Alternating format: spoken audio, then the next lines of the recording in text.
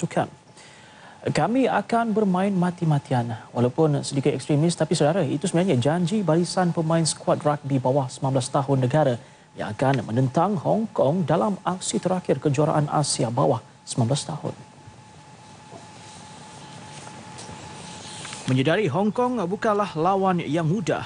Pemain negara tekad mempamerkan semangat juang yang tinggi dengan misi mencatat kemenangan untuk merobek imej pasukan lawan. Saya confident sebab saya uh, semangat uh, saya tengok dia punya semangat uh, sebelum-sebelum ni macam lawan Chinese Taipei Selang, lawan Sri Lanka walaupun kalah semangat dia orang tetap ada.